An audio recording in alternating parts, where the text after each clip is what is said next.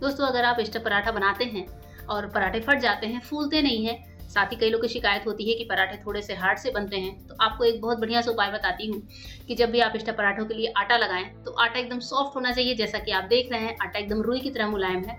इसी तरह के आटे से हम स्टफ़ पराठा बनाएँगे और बहुत ही सिंपल सा उपाय है कि इस तरीके से आटे में लोई लेकर और इसमें जो स्टफिंग है, वो फिल करेंगे और बहुत ही हल्के हाथों से, हल्का हल्का दबाव देते हुए हम पराठे को बेलेंगे। तो आप देख रहे हैं कि पराठा बिल्कुल भी फटा नहीं है और सेकते समय इसे हल्का हल्का दबाव देते हुए सेकें। इससे क्या होता है कि पराठा फूलता भी है। आप चाहें तो किसी स्पून की हेल्प ले सकते हैं या फिर इस तरह से किसी मेशर का हेल्प कर ले सकते हैं, जिससे कि पराठे हमारे काफ़ी अच्छे फूलते हैं।